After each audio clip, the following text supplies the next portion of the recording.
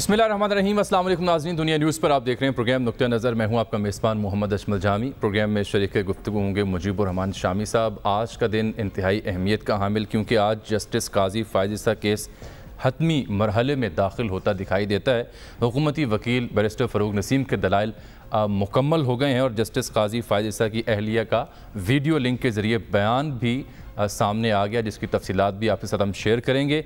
तो ये कहा जा रहा है कि अब जस्टिस काजी फ़ायज़ा की अहलिया ने लंदन प्रॉपर्टी की मनी ट्रेल पेश कर दी। अमरीकी स्कूल में जो उन्होंने मुलाजमत की, उसका रिकॉर्ड, सबूत, रसीदें, माँ मुतल रिकॉर्ड पेश किया और कहा कि तेरह माह लगा कर उन्होंने ये तमाम रिकॉर्ड इकट्ठा किया है। मुज्ज़ अदालत का ये कहना था कि सरीना फ़ायज़ जो कि अहलिया हैं, काजी फ़ायज़ा साहब की, उनके बयान से वो मुतमिन हैं। लेकिन हतमी फ़ैसला मुतल अथॉरिटी करेगी। ये बयान रिकॉर्ड कराते हुए जो वीडियो लिंक के ज़रिए किया गया, जस्टिस फाजी, जस्टिस काजी फ़ायसा की अहलिया, आप दीदा भी हो गई और कहा कि अपनों ने ऐसा केस बनाया जैसे मैं मास्टर माइंड क्रिमिनल हूँ। उन्होंने अपने पासपोर्ट का हवाला दिया, उसके बाद अपने शोहर से, शादी से पहले की अपनी प्रॉपर्टी का हवाला दिया, अपनी ज़र ज़मीन का हवाला दिया, अपनी मुलाजमतों का हवाला दिया और बताया कि उनकी वालदा स्पेनिश और वो स्पेनिश पासपोर्ट भी पाँच साल उनके पास रहा। और ये अहम नुकता उठाया कि मेरा टैक्स रिकॉर्ड कराची से इस्लामाबाद मुंतकिल किया गया। पूछा तो जवाब न दिया गया और एफ़ पी आर से भी उन्होंने गिले शिकवे किए।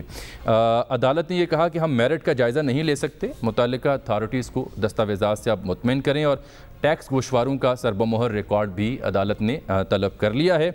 यही नहीं बल्कि इस अहम समात के दौरान बड़े अहम रिमार्क्स भी सामने आए जज साहिबान की जानब से।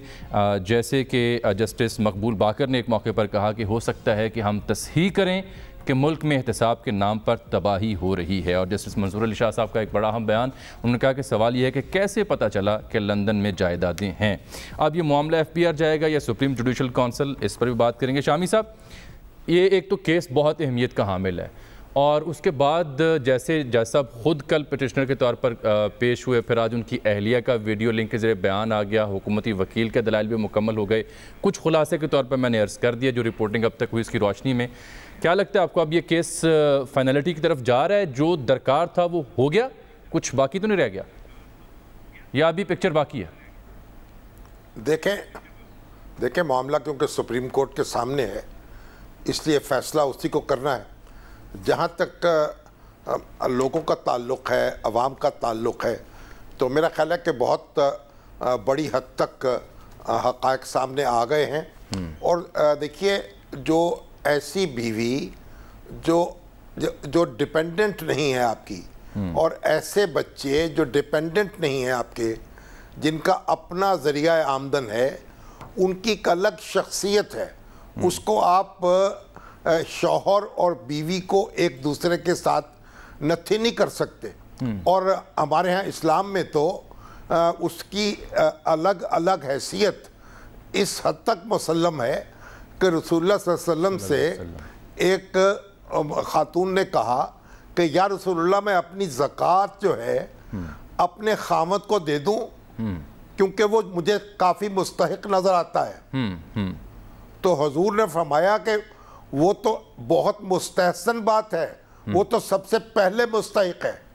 यानी मियाँ और बीवी की आमदन जो है अलग अलग इस तरीके से डील होती है।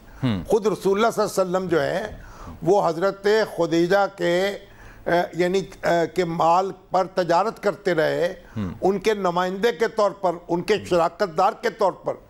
तो ये ये तो एक इंतहाई गड़बड़ की गई हैं चीज़ें, और जिस तरीके से ये मुकदमा बनाया गया, फिर जो जो इसके हकायक सामने आए हैं, जिस तरीके से एक शिकायत मौसू हुई, अभी अभी मजहूल नस्ब शख्स है उसकी शिकायत मौसू हुई बगैर सोचे समझे उसको आगे चला दिया गया और फिर उसका एक रेफरेंस दायर हो गया। तो ये इससे पूरा जो एहतसाब का हमारा सिस्टम है वो भी एक्सपोज हुआ है। सियासतदानों को तो छोड़िए। हम्म। आप अदलिया के जज और सुप्रीम कोर्ट के सीनियर तरीन जजों में से एक जो हैं अगर उनके साथ इस तरह मामला होगा कौन दुहाई देगा और कैसे माम कैसे बच सकेगा? बहरहाल आज आज, आज साहब जो कमरा अदालत में हुआ। जी उसकी तफसील थोड़ी लें सर। मजीद लेते हैं तफसीलात। मोहसिन एजाज साहब आज वहाँ मौजूद थे कमरा अदालत तफसील मालूम कर लें मजीद। जी, बहुत जी। तफसील तो आपने बयान कर दी है। जी, मजीद जब वो। डुप्लीकेशन ना हो उनसे कहें नहीं। और उसका खुलासा बयान करें। जी मोहसिन एजाज साहब आप आज कमरा अदालत में मौजूद थे और आपने आज क्या देखा जब उनकी अहलिया आई? थ्रू वीडियो लिंक टू जो हुकूमती वकील थे, उनके तसरत क्या थे? और क्या आपकी ऑब्जर्वेशन मजमू तौर पर रही इस केस के हवाले से आज? देखिए, अगर आज की समात की ओवरऑल बात की जाए तो आज समात के आगाज़ के मौके पर ही जो इस फुल कोर्ट के सरबराह हैं जस्टिस उमर अताब बंदयाल उन्होंने इजाज़त दी कि जस्टिस काजी फ़ायज़ ईसा की अहलिया वीडियो लिंक के ज़रिए अपना बयान रिकॉर्ड करवा सकती हैं और इस सिलसिले में उन्होंने कुछ हिदायत भी दी कि वो मुख्तसर बात करें और अदालती डेकोरम का ख्याल रखें और उन्होंने ये कहा कि दोपहर के वक्त उनका जो बयान है वो रिकॉर्ड किया जाएगा और इसके बाद फ़रोग नसीम के दलाइल शुरू हो गए, जिन्होंने आज जासूसी और बदयांती के हवाले से अदालत को मुतमिन करने की कोशिश की। इस मौके पर उन्होंने कानून के मुख्तलिफ़ नुकात का भी हवाला दिया। कुछ इस्लामी रवायात और वाक़ात भी बयान किए और उसके बाद जो है वो इस आज की समात में तीन मुख्तर वक्फे भी हुए। ये ऐलान क्योंकि किया गया था कि काजी साहब की अहलिया दोपहर के वक्त अपना बयान रिकॉर्ड कराएँगी। तो जो एक बज के पंद्रह मिनट पर एक वक्फा हुआ, उस वक्त जज साहिबान की जानब से ये बताया गया कि साढ़े तीन बजे तक वक्त है फ़रोग नसीम साहब के पास कि वो अपने दलाइल को कंक्लूड कर लें और उसके बाद मुआज़ जज साहब की अहलिया को सुना जाएगा। जब साढ़े तीन का वक्त हुआ और उसके बाद अपने जो दलाइल थे कंक्लूड किए हुकूमती वकील फ़रोग नसीम ने और अपने दलाइल के अख्ताम पर उन्होंने अदालत से ये भी इस्तदा की कि वो अपनी गुजारिशात तहरीरी तौर पर जमा कराने के लिए उन्हें चार से पाँच रोज़ का वक्त दरकार होगा जिसकी इजाज़त मुआज़ अदलिया की जानब से दे दी गई। तकरीबन तीन बज के पैंतालीस मिनट पर वीडियो लिंक के ज़रिए जस्टिस काजी फ़ायज़ ईसा की अहलिया का बयान रिकॉर्ड होना शुरू हुआ और उन्होंने अपने बयान के आगाज़ में ये बात की कि वो बहुत शुक्रगुजार हैं अदालत की कि उन्हें ये मौका दिया गया है। वो तेरह माह से देख रही हैं और ये तमाम तर तफसीलात जो है वो मुआज़ अदालत को बताना चाहती हैं। उन्होंने आगाज़ किया अपनी बर्थ सर्टिफिकेट से अपना बर्थ सर्टिफिकेट वो जितने भी डॉक्यूमेंट जिसकी वो बात करती थी उसको कैमरे पर दिखाती थी। और सबसे पहले उन्होंने अपने बर्थ सर्टिफिकेट से शुरू किया फिर मुख्तलिफ़ आई डी से होता हुआ पाकिस्तानी शनाख्ती कार्ड फिर कंप्यूटराइज शनाख्ती कार्ड फिर अपना स्पेनिश पासपोर्ट जो कि उन्हें उनकी स्पेनिश वालदा की वजह से मिला वो पासपोर्ट भी उन्होंने अदालत को दिखाया। और उसके बाद अपना और जस्टिस काजी फायज ईसा की शादी की उन्होंने तारीख भी बताई कि पच्चीस दिसंबर उन्नीस सौ बयासी को उनकी शादी हुई जस्टिस काजी फायज ईसा साहब से। और उसके बाद वो मनी ट्रेल की तरफ़ आई। मनी ट्रेल की जब बात हुई तो उन्होंने अदालत को बताया कि जितनी भी उनकी प्रॉपर्टी है वो प्रॉपर्टी उन्हें उनके वालिद साहब की तरफ़ से मिली है और उनकी किसी इस तरह की जो प्रॉपर्टीज़ हैं उससे जस्टिस काजी फायज ईसा साहब का कोई ताल्लुक नहीं है। अच्छा मोहसिन अब आप अब आप यहाँ हमारे साथ रहें। हमारे साथ रहें, इसी बात को आगे बढ़ाते हैं। आपसे मजीद भी हम बात करेंगे। सीनियर सहाफ़ी जनाब अब्दुल कोयूम सिद्दीकी साहब ने भी हमें ज्वाइन किया, जो आपके साथ ही वहाँ मौजूद थे। तो एक और एंगल से इसको देखने की कोशिश करें। सिद्दीकी साहब, बहुत शुक्रिया आपके वक्त का। मोहसिन साहब, यहाँ तक हमें ले आए कि जब उन्होंने अपनी मनी ट्रेल देना शुरू की, यानी जो ज़रिए ज़मीन है, उसके हवाले दिए, फिर बरतानिया में जायदाद कैसे ख़रीदी और टैक्स गोशवारों का ज़िक्र किया। इस बाबत आपने क्या वहाँ देखा और सुना, बताइएगा? हाँ इस हवाले से जस्टिस काजी फैसा की अहलिया जो है उन्होंने ये बताया कि वो अमेरिकन स्कूल सिस्टम में पढ़ाती थी और उसके अलावा उनकी जो है वो अपनी सारी जो टैक्स गोशवारे हैं वो दाखिल करती थी और ये उनके रेहान नकवी एडवोकेट उनके जो टैक्स एडवाइजर थे उनकी एडवाइस के ऊपर दाखिल किए जाते थे। उन्होंने अपने जो अराजी है ज़रिए अराजी जो उनको उनके वालिद से इनहेरिट हुई है उसका भी एक एक खसरा नंबर जो है वो उन्होंने बताया तकरीबन एक हज़ार एकड़ के करीब ज़रिए अराजी की वो जो है वो तकरीबन मालिक है उसमें। इसके अलावा जो है वो जैसे काजी फाइज ईसा की अहलिया ने ये भी बताया कि उन जब 2003 में उन्हें बैरून मुल्क वो करना था और ये बताया गया उनको उनके टैक्स एडवाइजर की तरफ़ से कि हुकूमत हुकूमत जो है वो फराहम करती है सहूलत फराहम करती है उनको जिनके फॉरन करेंसी अकाउंट्स हों। जी। जी। 2003 में जो है वो दो फॉरन अकाउंट्स खोले गए और वो स्टैंडर्ड कराची में खोले गए। उन्होंने उन अकाउंट्स के नंबर भी बताए उनकी डिटेल्स भी बताई और अपने एड्रेस भी बताया कि इस पर खोले गए। और उन्होंने कहा कि इन दो अकाउंट से जो कि एक पाउंड अकाउंट था और एक डॉलर अकाउंट था इन दो अकाउंट से 2003 से 2014 के दरमियान में सात लाख पाउंड जो है वो ट्रांसफ़र किए गए। उस अकाउंट में जो कि उनके पासपोर्ट के ऊपर यूके में उनका अकाउंट था क्योंकि यूके के अंदर प्रॉपर्टी के लिए एनआईडी इस्तेमाल नहीं होता पाकिस्तान का बल्कि वो पासपोर्ट के ऊपर होता है और पासपोर्ट उनका स्पेनिश है वो स्पेनिश शहरी है। पाकिस्तान में उन वो आने के लिए वो वीज़ा लेती रही हैं पाँच पाँच साल का लेकिन 2018 से उनको जब से जो है वो पाँच साल के बजाय एक साल का मल्टीपल वीज़ा दिया जाता रहा।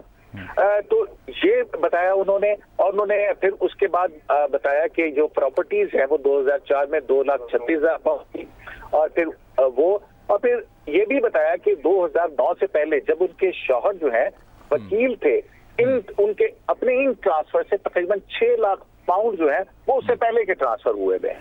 तो टोटल प्रॉपर्टी की जो वैल्यू है वो तकरीबन दो लाख छत्तीस हज़ार एक है दो लाख चालीस हज़ार पाउंड की एक है। और तकरीबन साढ़े सात लाख पाउंड जो है इसकी मालिक की प्रॉपर्टीज़ है। उन्होंने कहा कि ये जो तीन प्रॉपर्टीज़ है इनमें से दो जो है वो उन्होंने रेंट पे दी हुई है और एक प्रॉपर्टी के अंदर उनका बेटा जो है वो देखता है उस वो रहता है। और उन्होंने तमाम डॉक्यूमेंट दिखाए। उन्होंने कहा कि बेटे की प्रॉपर्टी के मेरे पास नहीं है क्योंकि वो यहाँ से दूर है। उस पर जो है अ, जैसे काजी ईसा की अहलिया का ये भी कहना था कि जो मालियत की रकम है वो कहा यह जाता है कि ये मिलियंस ऑफ़ पाउंड्स की प्रॉपर्टीज़ हैं। तो उन्होंने ये मिसाल दी और ये कहा कि एक 500 गज का जो एक कनाल का प्लॉट के ऊपर घर है वो कराची या इस्लामाबाद में जितनी मालियत का हो- है ये तकरीबन उतनी मालियत के ये तीन प्रॉपर्टीज़ जो है वो बनती हैं। तो उन्होंने जो है वो फिर अदालत को ये भी बताया कि ना सिर्फ़ ये कि 2018 के टैक्स रिटर्न्स के अंदर वो ये प्रॉपर्टीज़ ज़ाहिर कर चुकी हैं क्योंकि उनके प्रॉपर्टी एडवाइजर जो है वो उनको ये बताते रहे और उनकी एडवाइस के ऊपर वो अपने इनकम टैक्स रिटर्न दाखिल करती रही और जो लास्ट उन्होंने दाखिल किया है वो छिहत्तर लाख पाकिस्तानी रकम जो है उससे जायद का टैक्स उन्होंने इस पर अपनी इनकम के ऊपर अदा किया है। और साथ ही उन्होंने कहा कि जैसे जैसे मुझे बताया जाता रहा कि पाकिस्तान का कानून तब्दील हुआ है तो 2018 में ये तीनों प्रॉपर्टीज़ जो है वो शो कर दी गई थी। उन्होंने कहा कि मैं अचानक से मेरा जो आरटीओ है रीजनल टैक्स ऑफिसर का मेरा जो पोर्टल है क्योंकि मैं कराची में हूँ वो जो है वो सीज कर दिया गया और उसको इस्लामाबाद मुंतकिल कर दिया गया। मैं इस्लामाबाद एफबीआर के ऑफ़िस में गई और बगैर किसी प्रोटोकॉल बगैर किसी इस्तेकाक के घंटों वहाँ पे इंतज़ार किया गया। मैंने उनको खत देने की कोशिश की उन्होंने मेरी कोई प्रॉपर्टी बात नहीं सुनी है। और उन्होंने कहा कि मैं नहीं चाहती कि मुझे जो है कोई एक जज की बेगम के तौर पर ट्रीट किया जाए। मुझे एक आम शहरी को जिस तरह से ट्रीट किया जाता है मैं जस्ट सिर्फ़ वो चाहती हूँ। और फिर उन्होंने अदालत से भी ये सवाल किया कि मैं आपसे भी ये पूछती हूँ कि मुझसे क्यों किसी ने तेरह माह से नहीं पूछा इन प्रॉपर्टीज़ के बारे में? और उन्होंने फिर एक बात भी की कि प्रोसिक्यूशन इज़ टेरेबल और दूसरा उन्होंने अपने बच्चों के हवाले से भी बताया उन्होंने कहा कि मेरे बच्चों को बरतानिया के अंदर हरासा किया जाता रहा। बेटे बेटे बेटी की तस्वीर बनाई जाती रही। बेटी के ऊपर जो है वो इस तरह से उनकी प्राइवेसी को इन्वेट किया गया। तो अ, अ, इस हवाले से ये काफ़ी एक ऐसा मंजर था कि जिसमें वो उन्होंने पहले शुरू में कहा कि मैं गो के नर्वस हूँ। वो अपने वालिद का जब उनका ज़िक्र कि वो बहुत बीमार हैं तो उस पर भी वो आप दीदा हो गई और फिर वो प्रॉपर्टीज़ के साथ हवाले साथ से। रहिएगा साथ रहिएगा। मोहसिन साहब ये बताएँ कि इससे पहले फरूक ने सिद्दीकी साहब ये बताइए शाम साहब कि ये ये तो ये तो उन्होंने बयान दे दिया।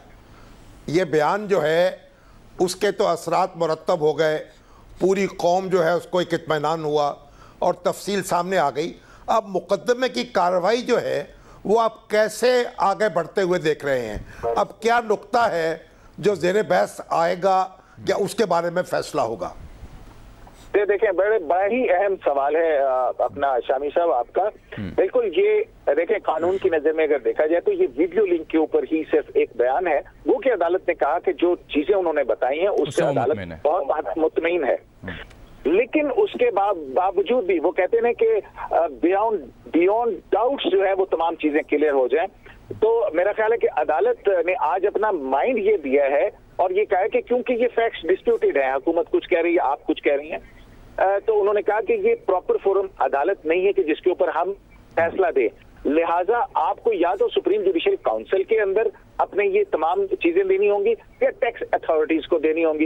यानी कि अब जब ये बात हो रही थी तो अदालत ने फिर बैरिस्टर फरोग नसीम जो है, उनसे ये पूछा कि क्या ये टैक्स की डिटेल्स जो है वो आप पता करके हमें बता सकते हैं? तो उन्होंने कहा कि कौन सी आप कहते हैं लेके आ सकते हैं। तो उन्होंने कहा कि हाँ आप ऐसा करें कि ये जो जितनी भी वो जैसा कि उन्होंने कहा कि ये प्रॉपर्टीज़ उन्होंने शो कर दी हैं और 31 जनवरी 2020 को बिकॉल मुनीर मलिक उन उनके काजी की एहलिया ने जो अपने टैक्स रिटर्न जारी किए हैं उनकी जो फ़ाइल है वो भी अदालत ने सीलबंद उसमें मंगवा ली है और इसके साथ ही साथ कि ये पैसा जो बैंक ट्रांजेक्शन है स्टेट बैंक ऑफ़ पाकिस्तान का रिकॉर्ड जो है वो भी अदालत ने कहा कि आप लाएँ। लेकिन उसके ऊपर बहुत सारी चीज़ें हैं जो बैरिस्टर फरोग नसीम ने कहा कि फला चीज़ चाहिए ये चीज़ चाहिए उसमें टाइम लगता है। इसी इसी बात तो, को मैं आगे बढ़ाता हूँ। मोहसिन साहब मोहसिन साहब ये बताइए साहब सदीकी साहब वो तो मामला एक और है ना।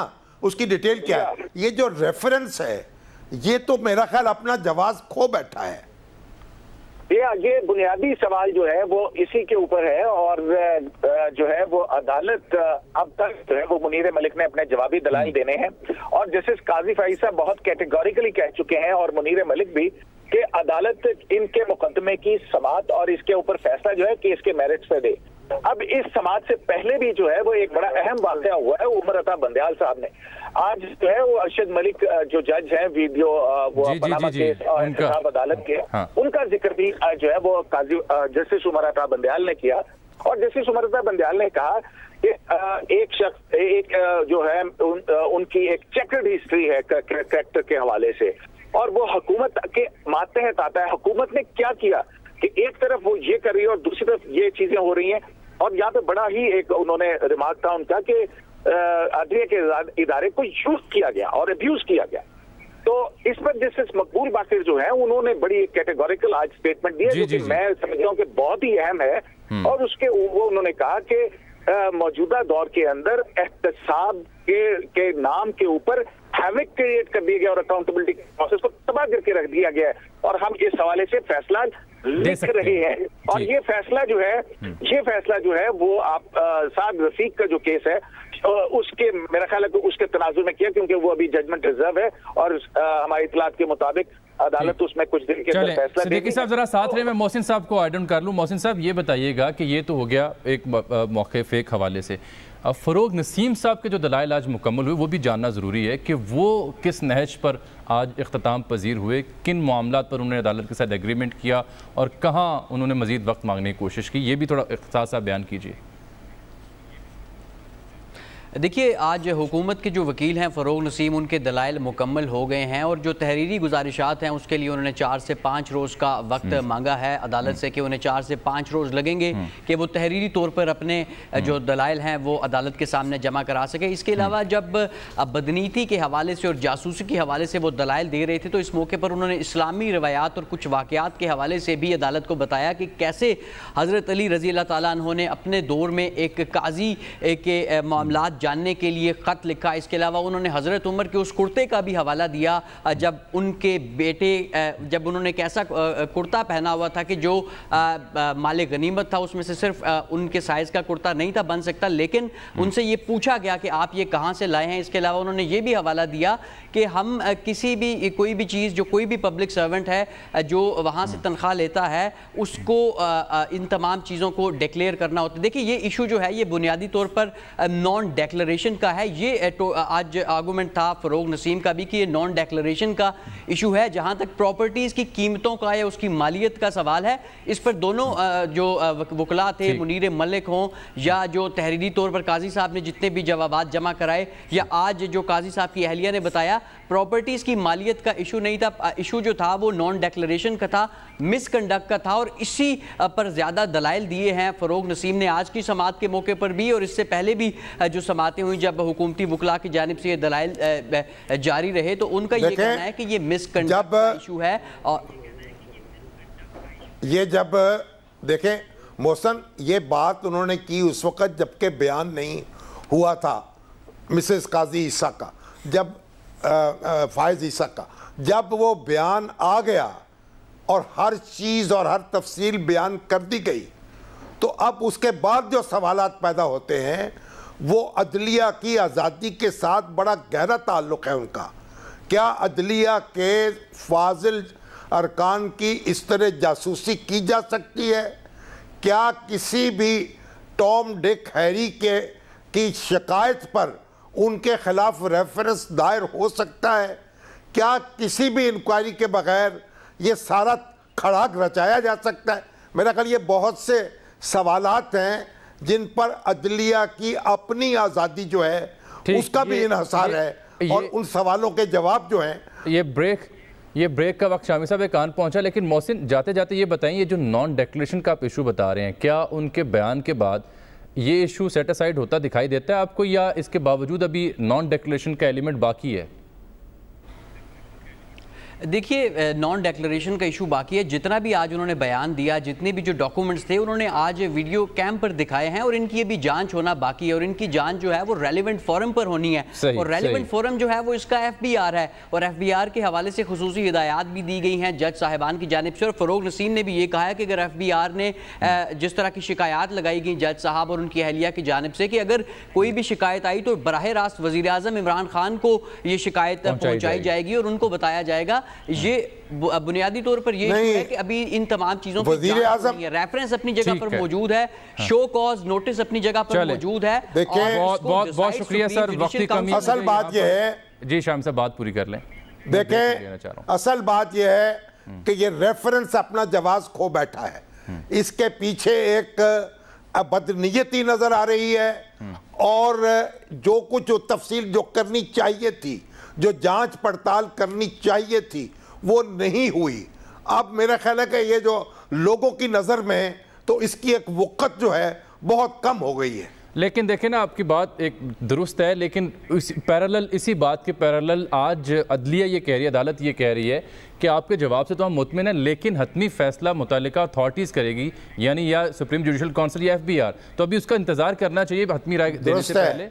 वो तय करेंगे कि ये बात। वो मुतमिन होते हैं या नहीं होते। एक ब्रेक में सर ले लेता हूँ क्योंकि वक्त कम है ब्रेक के बाद नाजिन वापस आते हैं।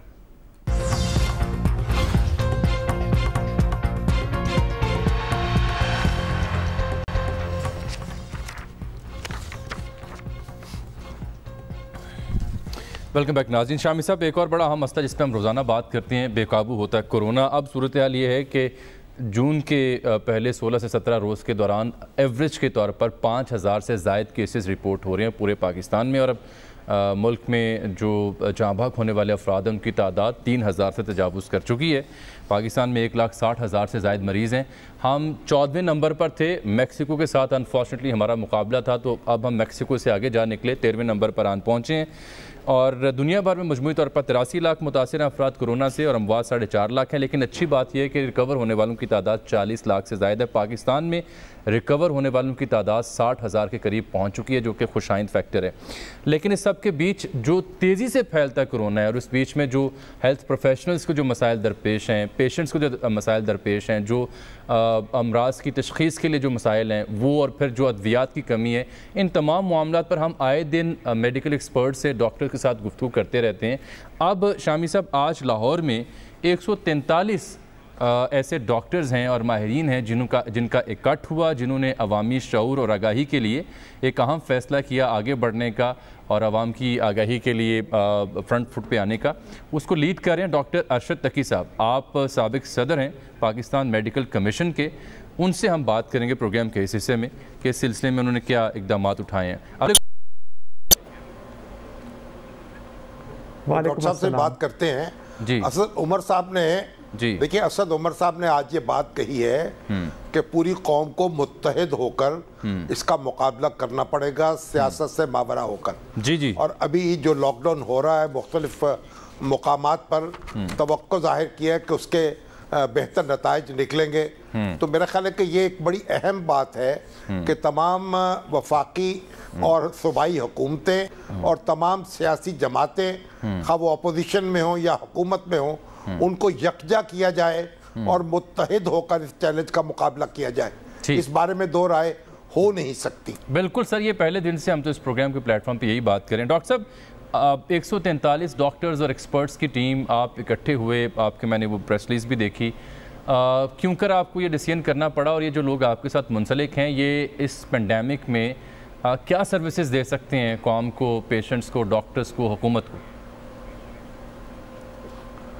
ये जी हमने एक इनिशिएटिव लिया था। तमाम वो लोग शामिल थे जो कि कोविड के मरीज़ों का फ्रंट लाइन पे किसी न किसी हैसियत में चाहे वो रेजिडेंट्स हों जो कि काम अंदर कर रहे हैं या वो जो लीडरशिप पोजीशन में हैं जो कि उन यूनिट्स को चला रहे हैं, उनसे गुफ्तु हुई और हम एक पॉइंट एजेंडा था, वो ये था कि हम ये देखें कि इस बीमारी के मुतलक जो डिसइंफॉर्मेशन है और जो उसकी वजह से कुछ पैनिक की सिचुएशन पैदा हुई है, उसको किस तरह से काउंटर किया जाए और हम किस तरह से लोगों को ये यकीन दहानी दिला, करा सकें कि वो दुरुस्त मालूम के लिए अपने डॉक्टर्स से रजू करें और सोशल मीडिया पे दी गई इतलात की बुनियाद पर इसके बारे में बीमारी के और इसके इलाज के बारे में हतमी राय न कायम करें हम्म। सो so, एक वन पॉइंट एजेंडा था जिसके लिए हमने इनिशिएटिव लिया जिसमें अब तक 175 अब सिग्नेटरीज हो चुके हैं हम्म। क्योंकि हमने ऑनलाइन एक ये शुरू की है पिटिशन जिसमें लोग ज्वाइन करके साइन करते जा रहे हैं और तमाम के तमाम लोग वो जो काम कर रहे हैं इन आईसीयूज में और इन पेशेंट्स की केयर में हम्म। डॉक्टर साहब अमलन क्या करने की ज़रूरत है? तो लोग क्या करें? आपसे रबता करें? कोई ऑनलाइन रबता मुमकिन है क्या? मैकेनिज्म आपने क्या सजेस्ट किया है? सब मैकेनिज़्म देखें सब मैकेनिज़्म हर जगह पे अपने हालात के मुताबिक डिफरेंट लोगों ने डिफरेंट मैकेनिज़्म सजेस्ट किए हैं। उसमें डॉक्टर्स ऑनलाइन सपोर्ट भी दे रहे हैं लोगों को। सोशल, सोशली अपने अपने नेटवर्क्स के अंदर भी मुशावरत कर रहे हैं। हमने एक पे वन पेज एक डॉक्यूमेंट तैयार किया, जिसमें हमने कुछ बुनियादी चीज़ें बताई। पहली चीज़ तो ये यकीन दहानी कराई कि 80 फ़ीसद से ज़्यादा लोग जो इससे मुतासर होते हैं, वो बग़ैर किसी अस्पताल की ज़रूरत के और बग़ैर किसी किसी सिग्निफिकेंट प्रॉब्लम के वो सेहत याब हो जाते हैं। सो हम्म। so, अगर आपका कोरोना टेस्ट पॉजिटिव आ गया है या आप में कुछ इलामत हुई हैं तो पैनिक करने की ज़रूरत नहीं सबसे पहली बात। दूसरी बात कि कुछ जो माइल्ड जो हैं इलामत उनके मतलब उनने कुछ मशवरे दिए जिनमें कुछ कुछ ये है कि कौन कौन कुछ तदाबीर हैं जो आप घर में रह कर कर सकते हैं। और फिर कुछ हमने ट्रिगर बनाए कि जहाँ पे कि आप डॉक्टर से रजू करें क्योंकि आगे हॉस्पिटल बेड्स की के ऊपर एक स्ट्रेन है तो इसी पर मैं तो आ रहा हूँ सर क्योंकि आप पाकिस्तान मेडिकल कमीशन को हेड करते रहे। किस मुकाम पर डॉक्टर से रजू करना चाहिए? पहले शामी साहब के सवाल का जवाब दे फिर मैं सवाल किस वक्त करना चाहिए? जी जी। जी एक तो ये है कि अगर आपका बुखार जो उससे बढ़ना शुरू हो जाए हम्म। अगर आपकी इलामत वर्सन होना शुरू हो जाए अगर आपको सांस में कोई खिंचाव या तब्दीली महसूस हो हम्म। और अगर आपके पास ऑक्सीजन मेजर करने का आला जो कि पल्स ऑक्सीमीटर है वो हम्म। आपका दस्तियाब है या आपके दस्तरस में है तो अगर उसमें आपकी सेचुरेशन रूम एयर के ऊपर तिरानवे परसेंट से नीचे आ रही है तो उसमें उस सूरत में आपको डॉक्टर से रजू कर लेना चाहिए और उसमें बेहतर है कि आप अपने फैमिली डॉक्टर से या उससे रजू करके आप उस एक लाइन में लग हो जाएँ ताकि आपको वो साथ साथ गाइड करते रहें हम्म। कि आगे क्या करना है। डॉक्टर साहब इसके पैरेलल मैं अर्ज़ ये कर रहा so, था इस तरह से आप, आप चूँकि पाकिस्तान मेडिकल कमीशन को भी देखते रहे आ, इस बुनियाद पर आप गवर्नमेंट को जिस तरह गवर्नमेंट जो मेयर्स ले रही है जिस तरह तेज़ी से ये कोरोना फैल रहा है लॉकडाउन और फिर सेलेक्टिव लॉकडाउन और फिर बीच में नरमी भी आ गई इस सूरत हाल पर ये तो मरीज़ों के लिए आपके गुफ्तु में। तेज़ फैलाव को कैसे रोका जाए इस बारे में आप और आपकी माहरीन क्या सुजेस्ट करते हैं गवर्नमेंट को? जी पहली बात तो ये है कि ये एक कॉम्प्लेक्स सिचुएशन है जिसमें कि हम एक सिंपल से हल ढूँढने की कोशिश करते हैं जिसकी वजह से मसाइल पैदा होते हैं। हम्म। ज़ाहिर है ये कॉम्प्लेक्स सिचुएशन है जिसमें लॉकडाउन के कुछ अपने नतज हैं जो कि ज़ाहिर है किसी भी सोसाइटी और ख़ास तौर पे हमारे जैसे मुल्क के लिए जिसकी मीशत वैसे कमज़ोर है उसके लिए बड़े मुश्किल हो जाते हैं। और उसके दूसरी तरफ़ ये है कि लॉकडाउन ना होने की इसमें सबसे पहले गवर्नमेंट तो अब उन्होंने जो तरीका किया है सेलेक्टिव लॉकडाउन का कि आप आइडेंटिफाई करें वो एरियाज़ जहाँ से लोग ज़्यादा आ रहे हैं और उनको आप सख्त लॉकडाउन करें ताकि वहाँ डिज़ीज़ को आप कंटेन कर सकें। और जो एरियाज़ जहाँ नहीं है वहाँ पे आप बिज़नेस एक्टिविटी को जारी रखने दें ताकि लोगों का रोज़गार भी चलता रहे। वो एक अच्छा इकदाम है लेकिन क्या सब काम गवर्नमेंट ने करने हैं? हमारी अपनी भी कुछ रिस्पॉन्सिबिलिटीज़ हैं। कुछ दो तीन छोटी छोटी चीज़ें हैं जिनकी हिदायत की जाती हैं। ये पहली बात पहली बात है उसमें जो कॉन्सेप्ट जिसको कहा जाता है सोशल डिस्टेंसिंग का कि मैं कोशिश करूँ कि मैं अपने से साथ बैठे हुए शख्स से छः फुट का फासला रखूँ। अगर किसी वजह से है भी कम भी रखना है तो दोनों लोग मास्क मास्क पहन लें। अब इन दो चीज़ों के ऊपर और मास्क कपड़े का भी हो सकता है उसके बारे में भी हिदायत दे दे दी गई। सो इन इन चीज़ों के लिए तो कोई बहुत ज़्यादा वसाइल की ज़रूरत नहीं होती। हम्म। इन चीज़ों के लिए तो हमें अपना शूर बेदार करना है। सो सब काम ना डॉक्टर्स कर सकते हैं ना सब काम गवर्नमेंट कर सकती है। ठीक। डॉक्टर हम सबको मिलकर करना है और बिल्कुल ज़िम्मेदारी का एहसास बहुत शुक्रिया आपके वक्त का और खुशी हुई कि आप जैसे प्रोफेशनल्स आगे आ रहे हैं। अवामनास की शौर के लिए आगाही के लिए गवर्नमेंट को भी सजेशन दे रहे हैं। बहुत शुक्रिया आपसे इंशाल्लाह बात होती रहेगी। नाजिन यहाँ प्रोग्राम में एक छोटी सी ब्रेक ब्रेक के बाद शामी साहब वापस आते हैं। तो जो भारत सलामती कौंसिल का गैर मुस्तकिल रुकन मंतखब हुआ है उस पर शेरी मजारी साहबा की तनकीद है। ट्वीट्स की सूरत में। वो मामला मैं आपसे डिस्कस करूँगा एक ब्रेक के बाद।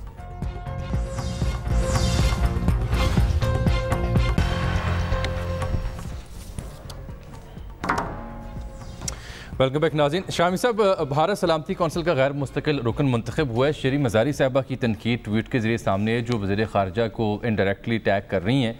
और वो ये कहती हैं, कैसे ये गैर मुस्तकिल रुकन मंतखब हो गया? बिला मुकाबला कोई और इस रीजन से मुल्क क्यों नहीं खड़ा हुआ मुकाबले के लिए? पाकिस्तान का किरदार क्या था? क्योंकि वो ये कहती हैं कि सवाल यह है कि पाकिस्तान भारत के मुकाबले में कोई और उम्मीदवार क्यों ना ला सका? और पाकिस्तान भारतीय नामजदगी पर मुतफिक क्यों हुआ? ये कोई क़यामत नहीं आ जाएगी का मामला नहीं है। ये पाँच मुस्तकिल और दस गैर मुस्तकिल अरकान होते हैं। हर साल पाँच का चुनाव होता है दो साल के लिए। तो ये जो उनकी तनकीद है अपनी गवर्नमेंट के बारे में अपनी मिनिस्ट्री ऑफ़ फॉरेन अफेयर्स के बारे में ये किस हद तक दुरुस्त लगती है आपको? देखें ये प्रोसेस जो है वो दो साल पहले शुरू हो जा हो जाता है। हम्म। तो आ, मेरा नहीं ख्याल है कि भारत को रोका जा सकता था या उसका मुकाबला करने के लिए कोई मैदान में उतारा जा सकता था। तो इसलिए हुकूमत ने खामोशी इख्तियार की है। सात साल सात दफ़ा भारत मंतखब हो चुका है गैर मुस्तकिल रुकन और सात साल ही पाकिस्तान मंतखब हुआ है। तो पाकिस्तान अपनी किस्मत आजमाई कर सकता है लेकिन मेरा ख्याल है कि शीरी मदारी जो हैं वो वज़ीर खारजा बनना चाहती थी शायद। और उन्होंने जो तनकीद की है तो शाह महमूद कुरैशी साहब पर लाजिम है कि उसका जवाब दें क्योंकि उन्होंने जो उन, उन्होंने शीरी मजारी ने इसे हुकूमत की नाकामी करार दिया है। और उनका ख्याल है कि भारत को रोकना चाहिए था। वो तो इसका मतलब यह एक काबीना का रुकन जो है जी जी जी जी जी जी। काबीना का रुकन वो ये अल्जाम लगा रहा है या एतराज़ उठा रहा है तो उसका जवाब देना चाहिए। देखें और अगर उसका जवाब नहीं दे सकते क्या महमूद? वो वो इस नुक्ते पर ये कह रही हैं कि ऐसी सूरत हाल में जब जो मकबूजा जम्मू कश्मीर के साथ जो किया भारत ने और उसके बाद जिस तरह से एल ओ सी पर आया रोज़ किया जा रहा है तो ऐसी सूरत में खामोशी इख्तियार करना इस तरह से भारत को बिला मुकाबला मंतखब होने देना असल में उनको सपोर्ट करना उनके उन इकदाम की तइद करने के मुतरद है। कुछ मुझे यूँ समझ आई उनकी उस एतराज़ की। देखिए ये जो भी वो बात कह रही है ना हम्म। देखिए पहली बात यह है कि अगर आप रोक ना सकते हो हम्म। तो फिर अपनी कमज़ोरी का आज़ाद करने के लिए खड़े को हो जाए? हम्म। एक बात दूसरी बात ये कश्मीर का जो मसला उलझा है उससे पहले ये प्रोसेस शुरू हो चुका था। लेकिन इससे कता नज़र जब एक वज़ीर जो है वो एतराज़ कर रहा है हुकूमत पर जी जी जी, उसकी पॉलिसीज़ पर और उसको एक खारजा पॉलिसी की नाकामी करार दे रहा है। हम्म। तो फिर वज़ीर आज़म उसका जवाब दे। शाह महमूद कुरैशी साहब जवाब दे। या फिर शीरी मजारी जो है हम्म। फिर वो फिर वो लात मारे अपनी वजारत को और मैदान में आ जाए। नहीं ये बड़ी इंपॉर्टेंट बात आपने की। प्रोग्राम के वक्त भी यहाँ पर और आज तो देखिए प्रोग्राम का वक्त भी सर यहाँ पर आज तो एक हमारा अफसोसनाक मामला है। इनशाला हमारे- हफ़्ते प्रोग्राम हमारे जो दोस्त हैं- होगी। नाजरीन तब तक के लिए इजाज़त दीजिए। अल्लाह हाफिज़।